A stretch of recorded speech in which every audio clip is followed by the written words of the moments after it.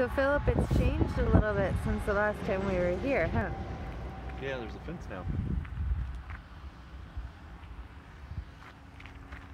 Would Booker have liked this picnic? I think so. He would have liked cuddling.